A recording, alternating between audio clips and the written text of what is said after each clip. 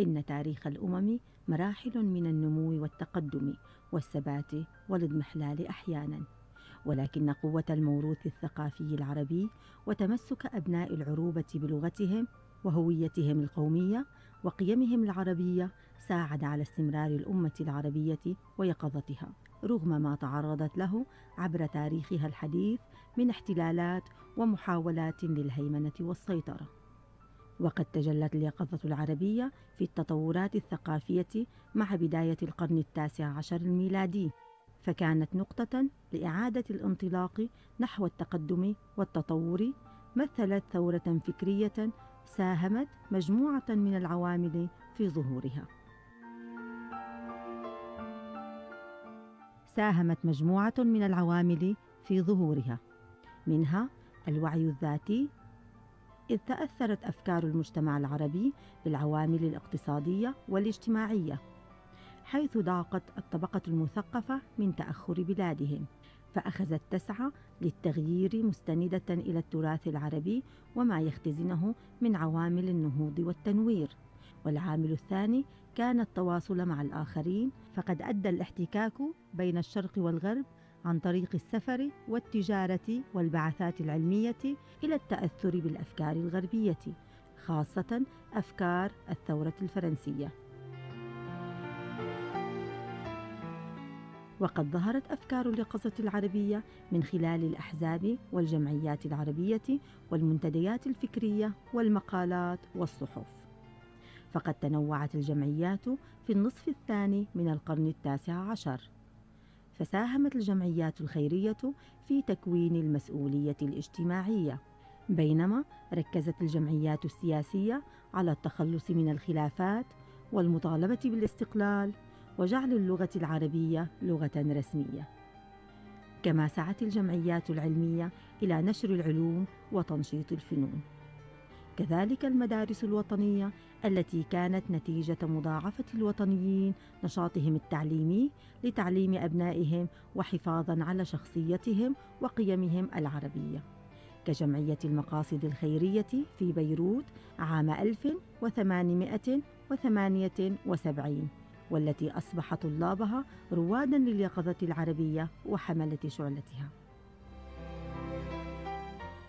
ومن المدارس أيضا جمعية الآداب والعلوم التي تأسست عام 1847 في بيروت. بجهود كبيرة من المفكرين ناصيف اليازجي وبطرس البستاني والتي هدفت إلى رفع مستوى التعليم ببذل جهد جماعي منظم وإفساح المجال للدور الاجتماعي للمساهمة في هذا المجال بعيدا عن الطبيعة الفردية. فكانت مبادرة طيبة الثمار.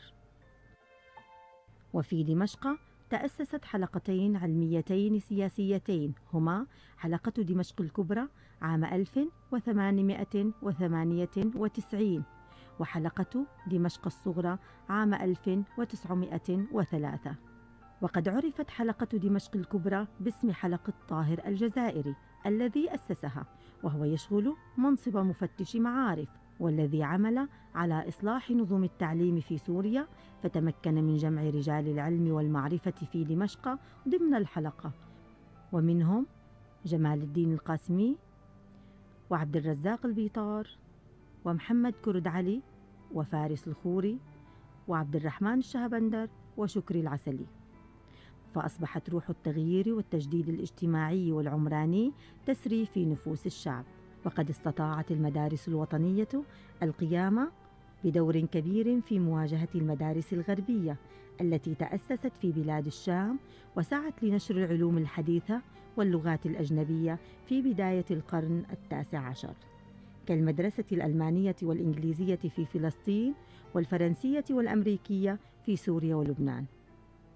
كما ظهر العديد من الأدباء والمفكرين الذين نشروا أفكارهم في الصحف والمجلات فكانوا قادة الحركة الفكرية والوعي.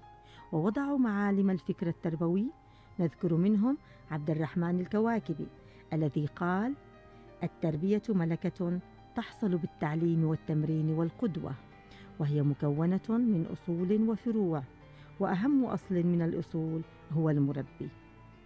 كما دعا إلى امتلاك الحرية مع اشتراط العقل والتربية. أما بطرس البستاني فقد جعل العلم مقياس تقدم الأمم ودعا إلى تعلم المرأة كي تصبح عضوا فعالا في المجتمع يشاركه الرأي والعمل. كما دعا إلى امتلاك الحرية الفكرية لأن الفكر المستعبد لا يمكن أن يكون فيه استعدادا كما يجب للعلوم.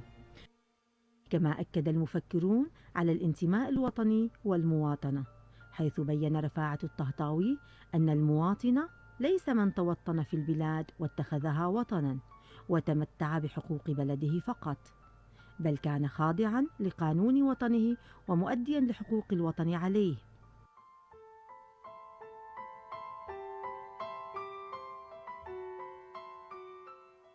في حين رأى بطرس البستاني أن الانتماء الوطني يكون للوطن كله بجباله وسهوله وبحره وبره ولكل أبناء الوطن على اختلاف مذاهبهم وهيئاتهم. ولم يعتمد المفكرون والأدباء العرب في بناء يقظتهم الفكرية على تقليد الغرب بالكامل بل كانت أفكارهم دعوة للإصلاح والتنوير مع الأخذ من الغرب المتمدن ما يناسب واقعنا. هذا ما أكده سليم البستاني الذي دعا لتعمير البلاد واستثمار مواردها مشيرا لأهمية مركزها.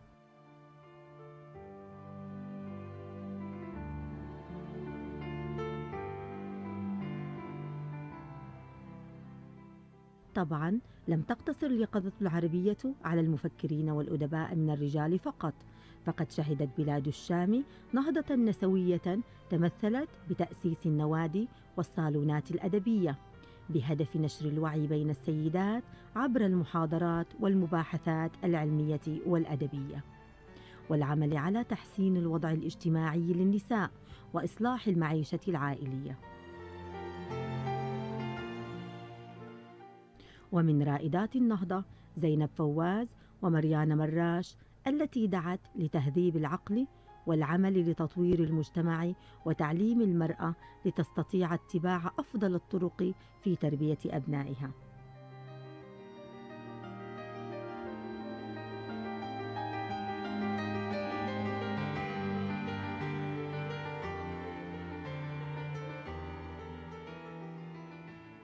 كذلك ظهرت الصحف النسائية كصحيفة العروس في دمشق عام 1910 لصاحبتها ماري عجمي. وقد فتحت المطبعة العربية مجالا واسعا للمفكرين والأدباء في نشر أفكارهم لتنوير المجتمع عن طريق الصحف والمجلات.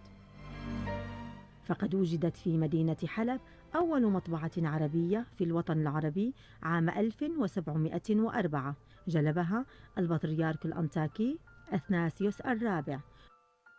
وضع حروفها العربية الصانع عبد الله الزاخر الحلبي. ثم في عام 1858 كانت المطبعة المارونية التي أسسها المطران يوسف مطر. وفي دمشق استقدم حنا الروماني أول مطبعة عام 1855 ثم أنشئت عام 1864 مطبعة ولاية دمشق التي طبع فيها صحيفة سورية. وفي الوقت الحاضر ما زال دور سوريا الريادي في إحياء التراث العربي والمحافظة عليه حيث تصدرت الجمهورية العربية السورية اليوم موسوعة عربية شاملة وموسوعات متخصصة في الطب والقانون والآثار والتقانة بهدف توفير مرجع علمي ثقافي يضم جوانب المعرفة ويتصف بالدقة العلمية والشمول. وتتألف الموسوعة العربية من 24 جزءاً.